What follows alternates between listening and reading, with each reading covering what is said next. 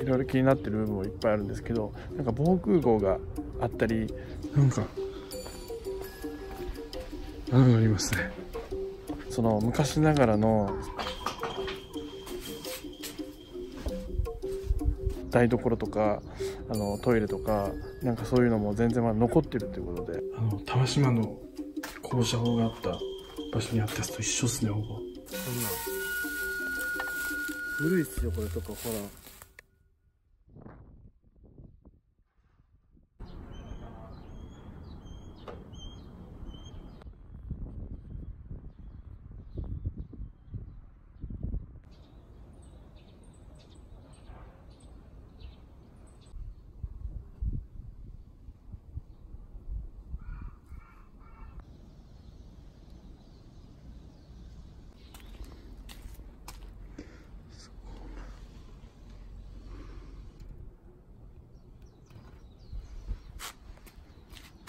はいスピチューブ始まります。今日はね旧野崎家にやってきております、まあ、野崎家というとその神殿開発とその塩作りで、えー、結構財を成したことで有名な場所なんですけど1829年からあの瀬戸内海で塩を作り続けてるということでやっぱその歴史もねかなり長いということで、えー、ちょっとね今日はここをね行ってみようかなと思うんですけどその中でもねなんかそのいろいろ気になってる部分もいっぱいあるんですけどなんか防空壕があったりその昔ながらの台所とかあのトイレとかなんかそういうのも全然まだ残ってるということでちょっとねそういう部分でも見ていこうかなということで今回スピチューブ始まります。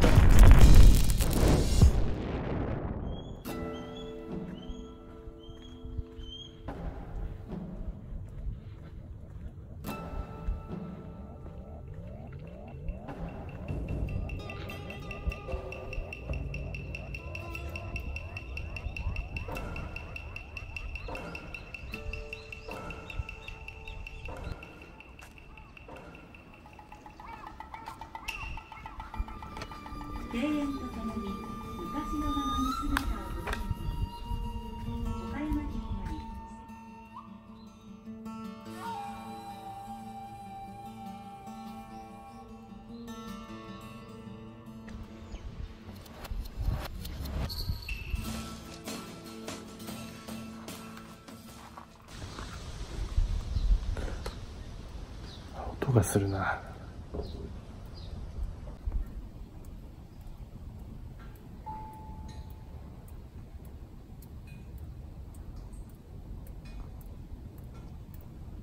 あの竹から落ちてる水滴がねあのその竹を通してあの聞こえるんですよね。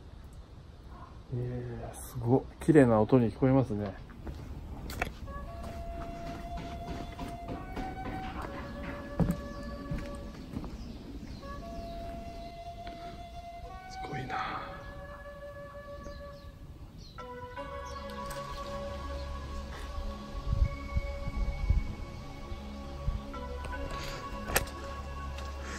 なんか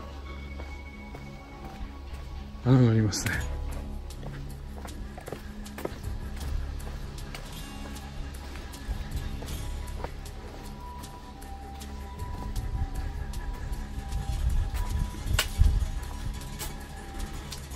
薪の。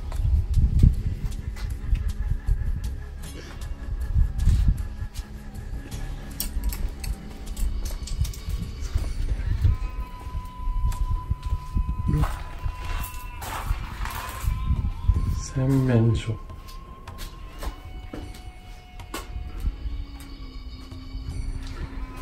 すご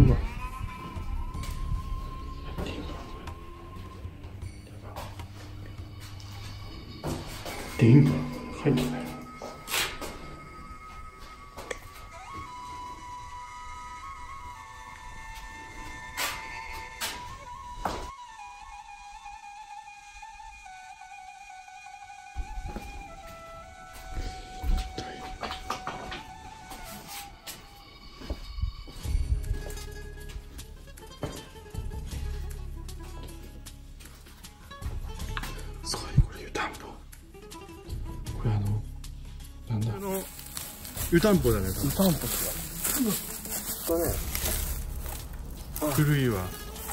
そんなん。古いっすよこれとかほら。あの玉島の校舎法があった場所にあったやつと一緒っすねほぼ。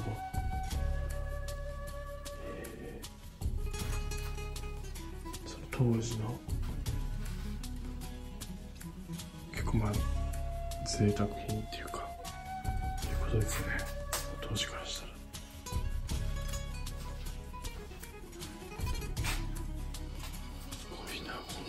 こんだけ広い。台所って言ったらやっぱり相当な身分の人じゃないと。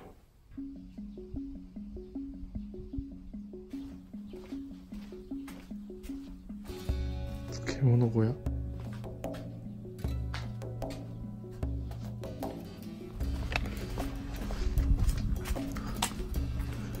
すごい。空港ワードだ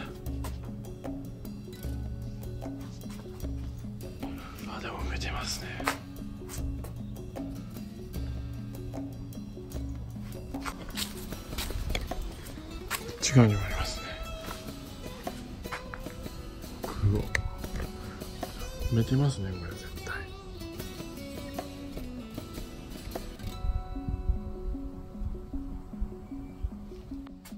スペイン。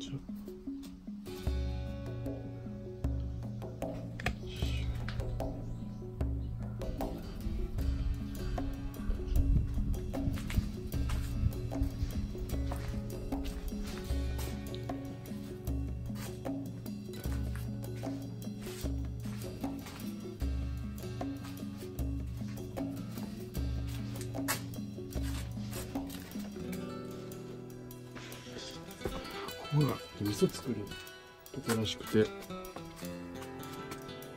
気温測る温度計みたいなの。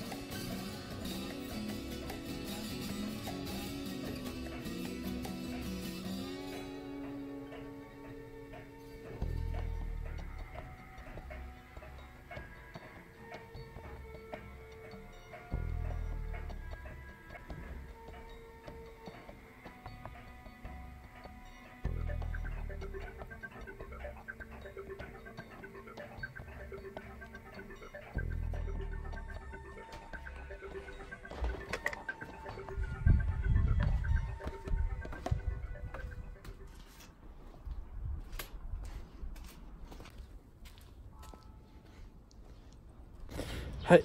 というわけで今回ね、えー野崎家に行ってきたわけですけどえっ、とですねやっぱりいろいろそのどっかで見たことあるなっていうようなものとか電話とかね時計とか、えー蓄音機とか、えー湯たんぽとかねあったと思うんですけどで防空もねあったり結構ね埋めてあったりはしたんですけど、まあ、実際にねあったということではい。というわけででなんか岡山観光ウェブのサイトをね見てもらったら、えー割引ができるみたいで通常がね500円なんですけどそこが400円で入れるということです。で小中学生もね多分もっとね安く入れると思います。はい。ということで今日は終わりたいと思います。それでは皆さんまた。ヤバンスピチューブ始めました。普通では上げられない動画。未編集の動画を主に上げてます。ぜひチャンネル登録よろしくお願いします。この動画をいいと思ったらグッドボタン、悪いと思ってもグッドボタン、チャンネル登録もよろしく